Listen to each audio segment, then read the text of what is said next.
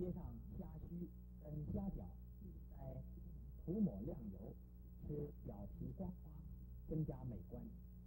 最后以玻璃纸包装，就完成了一座美观的龙虾标本。